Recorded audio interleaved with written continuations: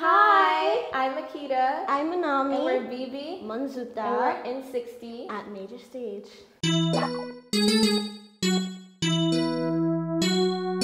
Did you fight a lot as kids? Yes. she was a demon because she's a Gemini.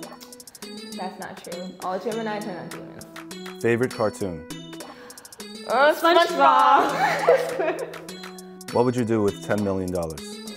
Ooh, buy my parents a home first. Invest in charity. And yeah, nothing else. Nothing else. yeah, pretty much that's it. Biggest pet peeve? Um, oh, when people, shoot. I think people are like with no manners. Yeah, no, no manners, manners or walking in your house with shoes on. Yeah. Do you believe in ghosts?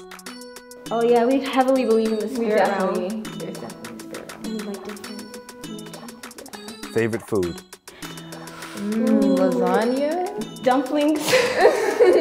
One thing you can't live without. Music. Um, music, totally. Uh, my family. Yeah, family. Music is a family. Yeah. Describe yourselves in one word. Crazy. Mm-hmm. fun. Oh, like okay, fun. Fierce. We're Bebi Monsuta, and we just wrapped up our in60. And you guys can look out for our debut EP coming this year.